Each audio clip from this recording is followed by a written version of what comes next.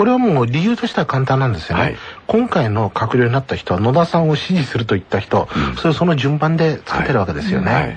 それから田中真紀子さんもそうですし、うん、田中慶秀さんもそうですよね、はい、ダブル田中で、はい、あのそれ田中真紀子さんに関してはしかしそれだけじゃなくておそらくこれはあの野田総理自身の勘違いもあると思う、うん、真紀子さんブームがまた起きると思ってるんですよ。これがねあ、ちょっといいですか？はい、その前に今ラジオ機能リスナーの皆さんで、えー、佐藤勝さんと田中真紀子さんの因縁というのはございまして、ちょっとこれ簡単におさらいしますけども、えー、小泉内閣の時に田中真紀子さんが成り物入りで外務大臣におなりになりました。えー、外務省は福間伝だとおっしゃった中で、えー、そこで、えー、当時鈴木宗男さんと激しく対立した。で、鈴木宗男さんと一緒にこう北方領土の問題いろいろ取り組んでいらっしゃった当時外務省の佐藤勝さん、最終的には、えー、起訴されて、えー、拘置所に入るということになったということですね。うん、あのただ、面白い話を辻元清美さんにこの前教えてもらったんですよ。はい、何でしょう。あの、国会のお手洗いで田中真紀子さんと一緒になった時ね、うん、こいつやっつけてって。ラスプーチンって私の名前を書いてですね、うん、メモに、それ田中さんが渡したと。田中真紀子さんが辻元さんに。はい。当時、真紀子さん外務大臣で、辻元清美さんは社民党の代議士ですよね。そうです。えー、それで国会で攻撃してきたわけですよ。えー、ということは、田中さんに、外務省の誰かが、私をやってくれって頼んだやつがいるんですね。ですから外務省が含まれてなってるのはやっぱりそのことでも明らかなんですよ。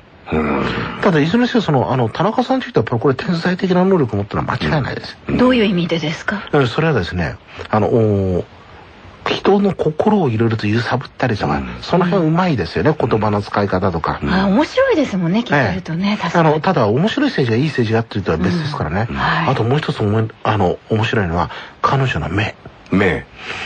私はですね、あの、私がいる私の部屋のと訪ねてきたことがあるんですよ。うん、これ国家の罠っていう新潮文から出した私にも書きましたけども、うん、ここは何をやってる部屋なんですかって言って。あ、今、マイコさんの真似ですね。はい。それでこんな感じで私の前に立つんですよ。この新聞は何ですかって言って、まず朝鮮語の新聞引っ張ってあげるんですね。私はしらっと横向いてて、この新聞はって今度ロシア語の新聞を出して、ロシアの新聞なのとか言うんですよ。それで私のを見てるんですよね。顔はにこやかに笑ってるんですけど、目は全く、あの、笑ってなかったですね。何書かれてたんですかえ？なん新聞何書かれてたんですか？いや、それで、いや、新聞何書いたわけじゃないんですけどね。そしたらその時の、その局長の今井さんという人は、これは佐藤さんの顔見に来たんだねと。あの、こういうふうに言われたんですよ。それでその日の、夜、鈴木宗男さんから電話かかってくるんですよ。そしたら、あんた田中さんが、あの、あんたのとこ来たらしいなと。それなんか可愛い顔してるって言ったらしいぞと。あ、可愛い目をしてるって言ったらしいぞと。うん、目があったからそういう反応したらしいね。田中さんに気に入られたんじゃないかと。うん、そのうち一週間で声がかかるかもしれないなと。そういうふうに言われたんですよ。うん、そしたら、いやあの私はダメでしょうと。いや、髭がある奴は、あの嫌いだって言ってるけど、あんたは髭を生やさないのかって鈴木さん言うわけですよね。だから鈴木さんそこのところ、あれ？